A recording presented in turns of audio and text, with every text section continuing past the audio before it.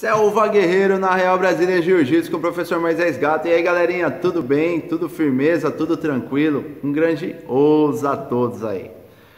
Selva, pessoal, para você que está chegando agora no canal aí, muito prazer. Eu sou Moisés Gato, professor de Educação Física, faixa preta da Guegutim.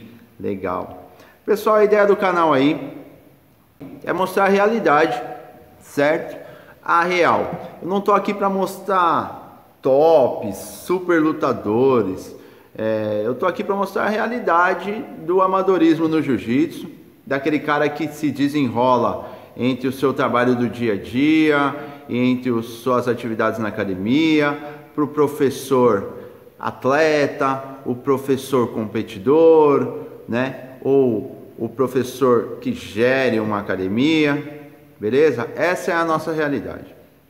E principalmente é, o desenrolar das atividades dentro e fora da academia, esse trabalho duro que a gente tem para manter a chama acesa do jiu-jitsu, principalmente nessa época de pandemia, tá mil grau, né, cara? Tá muito difícil. Então, o que, que você espera do jiu-jitsu? O que, que você espera do jiu-jitsu? Eu espero do jiu-jitsu é, uma vida, né? Uma vida. É, esse dia eu vi uma postagem aí de um professor colega meu que a gente não sabe quantas pessoas nós vamos tocar, né? Aonde nós vamos chegar, né? E, e a gente não sabe mesmo. Nunca esperei ser um faixa preta, muito menos dar aula e muito menos ter uma academia.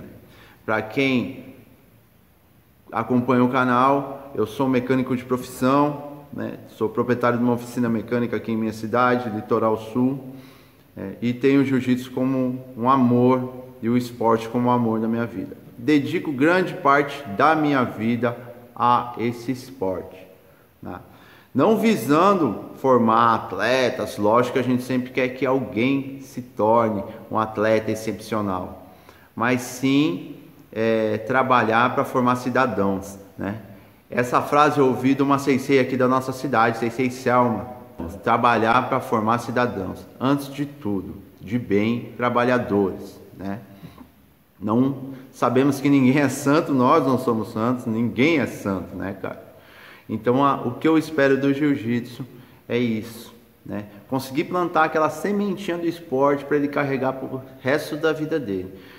Ele aprendeu a disciplina do tatame, como ele deve se portar, respeitar o companheiro, a hierarquia do tatame, ele levando isso para a vida dele, cara, depois que você aprende a respeitar o próximo, principalmente, e aprende o seu valor e aprende que você tem valor, você automaticamente se torna uma pessoa diferente. Você automaticamente se torna uma pessoa mais capaz. Você automaticamente se torna um ser humano melhor.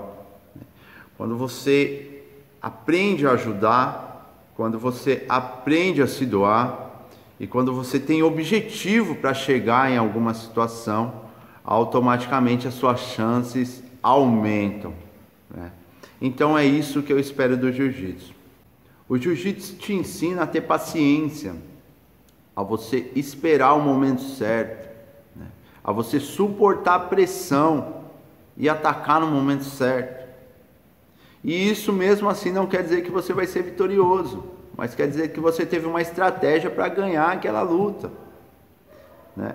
Muitas vezes na vida a gente sai correndo que nem um doido atrás de um objetivo, só que sem montar uma estratégia, sem ter a paciência necessária. E poucas dessas vezes aí a gente chega no, no, no alvo, né? A gente chega na nossa meta final a gente acaba se desmotivando por alguma situação ou algum momento, né? E o jiu-jitsu nos prepara para isso. Ele prepara o ser humano para isso. A arte marcial em si prepara o ser humano para suportar a pressão. Né? Eu falo do jiu-jitsu porque é a nossa arte.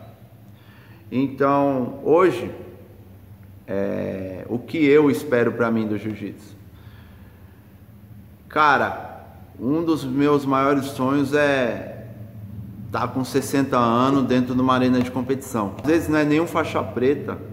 Cara, às vezes o cara é um branca, um azul e ele tá lá na arena de combate. Pô, isso é muito sensacional. Ou ele tá na academia treinando, não tá indo competir, né? Mas ele tá buscando algo diferente. Então o que eu espero do jiu-jitsu é isso, é poder ter essa chance.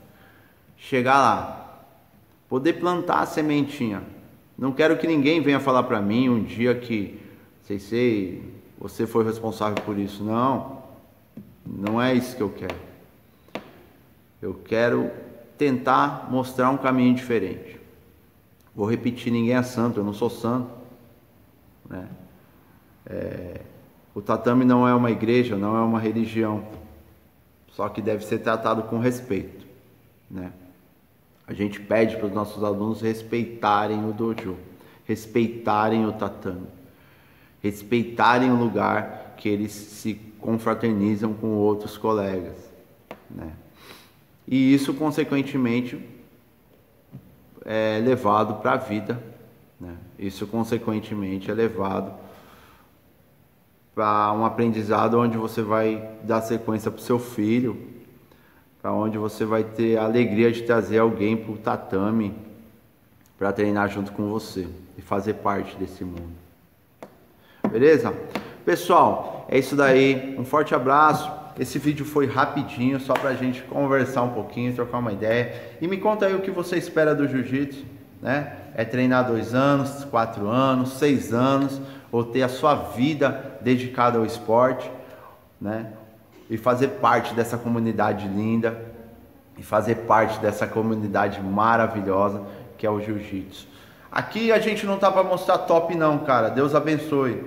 A gente está para mostrar a realidade. Os, um forte abraço na Real Brasília Jiu-Jitsu com o professor Moisés Gato Selva. Ei!